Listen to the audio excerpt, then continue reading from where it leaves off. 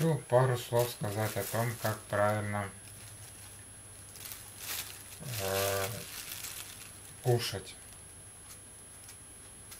Сейчас я почищу яблочки. Время уже как бы не раннее. Если я буду после шести еще яблоки есть, то это приведет к тому, что мне приспичит туалет еще и ночью. Я воду не пью уже около месяца. И даже несмотря на это, та жидкость, которая содержится в яблоках, вынуждает меня просыпаться ночью от того, что мой мочевой пузырь просто переполнен. В результате я выхожу ночью на улицу, и я порожняю свой мочевой пузырь. Так вот, почему я не пью воду? Несмотря на то, что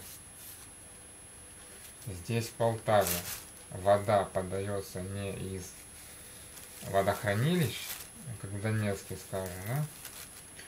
а непосредственно добывается из буровых скважин. То есть вода здесь очень чистая, но поступая в дома потребителям через систему водоснабжения, то есть труб по сути, она становится не живой, как из родника, а мертвой. Во-первых, она деструктурируется. Ну, те, кто немножко знает, что молекулы воды H2O способны объединяться в так называемые кластеры. Ну, эти кластеры обладают определенной структурой. В основном это сферы. Вот, так вот, когда вода двигается по трубам, эти сферы разрушаются. называется деструктуризация. Когда вода структурирована, она попадает в наш организм и свободно проникает через клеточные мембраны, таким образом питая наши клетки и все наше тело. Вот. Вода деструктурирована, очень тяжело попадает в наши клетки, проходит через клеточную мембрану. Также вода обладает памятью. Она может запоминать как негативную информацию, так и положительную информацию. По трубам она проходит очень много изгибов, углов, ну и тому подобные э, вещи сказать, в Донецке я пил воду из родника. Там она была точно структурированной, хотя и э, не лишена всяких различных примесей минеральных. Так вот здесь, помимо того, что вода деструктурирована, э, информационно загрязнена, ну и там и всякие разные другие э, причины. В этом доме, дом очень старый, трубы, естественно, не менялись. Более того, скажу, э, из-под пола здесь вытекает вода. Причем в двух местах одновременно. Это уже об очень многом говорит. Не только о том, что они ржавые. Но вода, в принципе, идет чистая. Вот. Но это говорит о том, что ее лучше не пить. Я когда сюда только приехал, покупал воду с магазина. Вот. Ну, тут просто я как набираю воду, именно в те бутылки, которые я покупал с водой. Вот, мне на пару дней хватает там помыть, помыться. Вот такие вот дела. Теперь по поводу того, в одном из моих видео я рассказывал, что нужно жевать как минимум 100 раз. Э, процесс пищеварения начинается уже в ротовой полости. Под действием слюны э, та прана, на которой находится именно, допустим, в данном случае в яблоке, впитывается через слюнные железы. Хотя можно выложить, если слюнные железы работают на выделение, а не на поглощение чего-либо, но тем не менее так пишут. Вот, значит.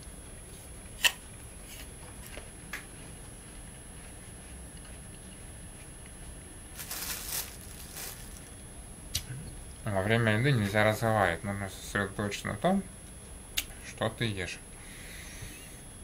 Дальше. Одно из правил гласит о следующем. Твердое пить, жидкое есть. То есть надо, чтобы твердая пища во рту приобрела такое состояние, чтобы ее можно было выпить. Ну а жидкое нужно есть так долго, как будто ты это, как будто это что-то твердое.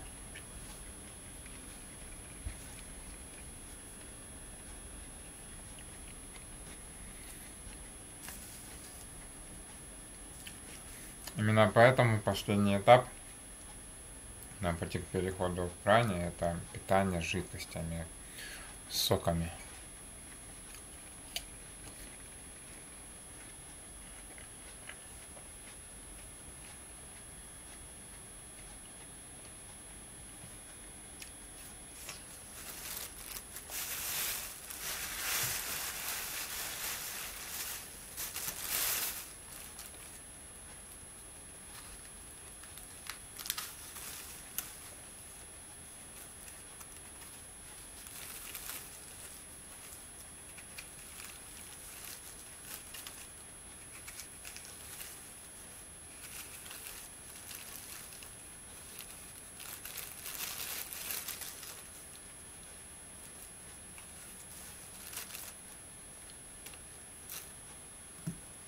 Самое интересное то, что я яблок не мыл и не мою.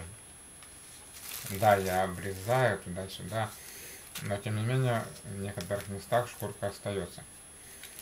Я абсолютно ничего не чувствую ни в животе, ни на входе, ни на выходе, короче говоря. Говорит о том, что у меня очень сильный иммунитет.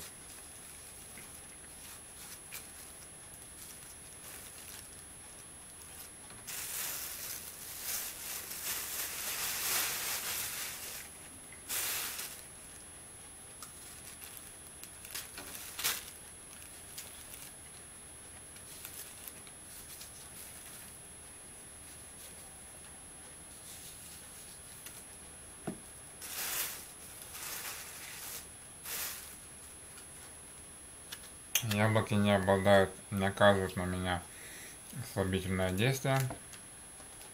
Хотя шокоица оказывала, да. Но по истечении, по крайней мере, полусуток.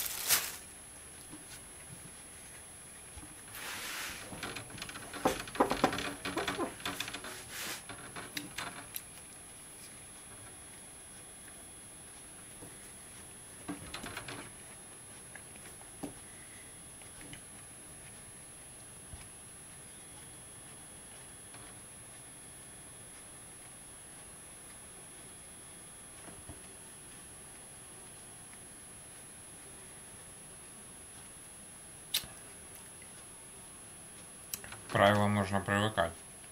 Не все сразу, постепенно. Если в сентябре, сентябре, октябре у меня не получится перейти на праны, я даже об этом думать не хочу, но все-таки. Это будет очень сильная чистка организма. Это тоже опыт. Это положительный опыт в любом случае. Я все равно не сдамся. Вот, значит, чем я буду питаться? В том случае, если я не приду на прану. Пророщенной пшеницей. И орехами. Орехов здесь много. У меня во дворе орешник здоровый. По улице много орехов.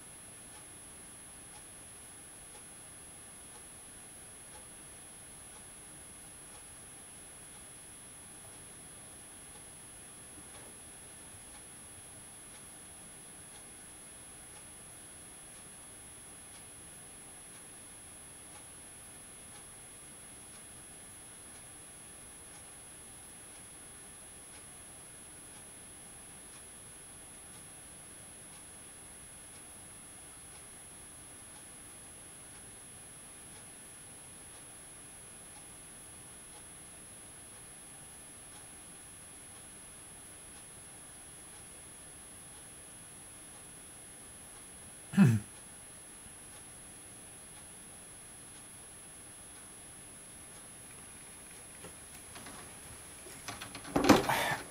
рассказ я немножко не с того начал, еще до того, как я звонил по поводу пропуска в начале даже мая. Я планировал приехать в Полтаву, поскольку я уже получил деньги. Планировал приехать в Полтаву для того, чтобы здесь спокойная обстановка, как я рассчитывал, начать переход на прану. Но, значит, на тот момент я уже не ел э, вареной пищи, но мой вес продолжал снижаться. Был целый месяц еще впереди, я так посчитал, что вес может снизиться, если я 20 дней не буду ничего не есть, я могу очень сильно похудеть, просто ну, до конца не дойти, начать опять есть. В общем говоря, имея деньги на руках, такой большой соблазн, постепенно я начал покупать и есть то, что позволило бы мне, как я считал, набрать вес. А, поскольку опять-таки я ну, основательно решил категорически перейти на прану, это означало бы, что я больше ничего ну, не ел. Вот, понимая это, я позволил себе расслабиться и съесть то, что я очень давно уже не ел. То даже когда была такая возможность, особо сильно я не тратился на эту всю дрянь. Вот. Ну, короче говоря, чтобы потом не было у меня никакого соблазна бросить прану и начать все это есть. В общем говоря, пирожные, там печенье всякие, вафли, там ну, такое кондитерское. Но у меня вес особо сильно не поднимался, держался, да. Потом я перешел, э, когда на это стало много денег уходить, вот, я перешел на хлеб. Я мог съесть два батона за день. Хлеб и яблоки я покупал себе и бабушке. И уже в мае бабушка ела одни яблоки. Вот это же те деньги, что мне перечислили 500 гривен из России. На них я тоже купил яблоки. Вот. Ну, по поводу бабушки это отдельная история. Ну, короче говоря, вес я поддерживал. И сейчас, знаете, я сам поражаюсь, как такое может быть, но все-таки фрукты, это не пшеница, тем более сейчас тепло. В общем говоря, у меня держится постоянно 76-78 килограмм на одних яблоках. Вишня шелковица и теперь уже яблоки. У меня постоянно держится вес. Ну, вы сами в этом убедитесь. Э, правда, яблоки уже заканчиваются, их будет меньше, но сильно вес понижаться не будет. малые бесятся, грызутся. Вот. Э, ну, щенки в смысле. Сильно вес понижаться не будет. Начнутся груши, а там будет видно. И таким образом вес у меня ну, поддерживался. Но когда я уже приехал сюда, ну, не все так сразу, конечно. В общем говоря, я стал звонить за пропуска и везде, ну, отказ. Либо 10 дней, либо 2 недели, либо туда-сюда, но на тот момент у отца тут возникли какие проблемы с прокуратурой, он меня очень конфликтный человек, и его одна клиентка, так сказать, попросила повлиять на, на ее на ее врага, что ли. Но он начал влиять. Ну, потом за это поплатился. В общем, зная это, я решил чуть пораньше поехать сюда, в Полтаву, чтобы, ну, как бы воочию разобраться, что здесь происходит. На самом деле ничего страшного, у него конфисковали вещи, и около полутора месяцев их не отдавали. Отдали или нет, честно, я так и не поинтересовался. У меня тут определенные терки с ним. Есть, конечно, причины на это, но об этом дальше. Вот, значит, э 1 июня я звонил, 2 я решил поехать. А, 1 я звонил, поехал расписание узнал, 2 я уже поехал на автовокзал. Но а перед этим у меня был скандал по поводу паспорта с бабушкиным сыном и его сожительницей. Об этом попозже.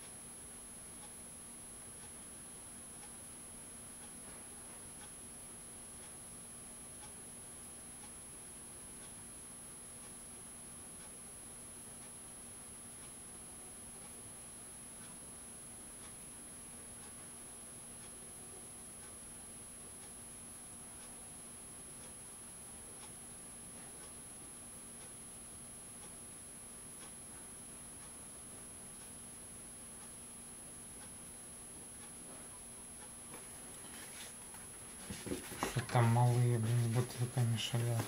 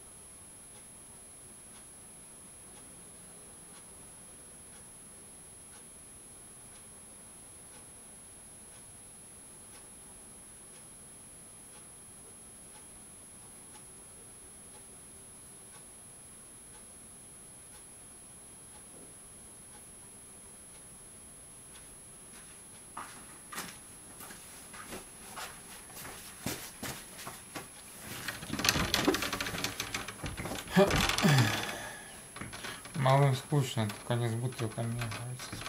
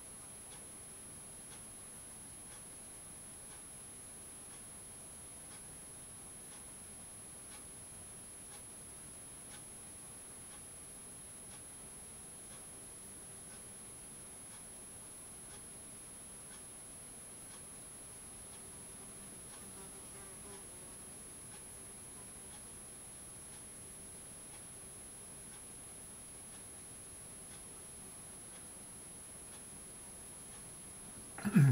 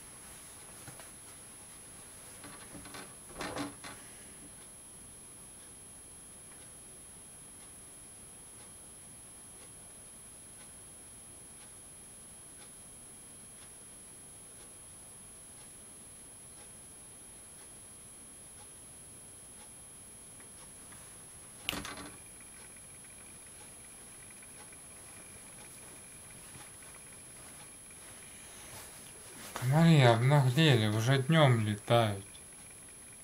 Причем это давно заметил. Обычно они ночью летают.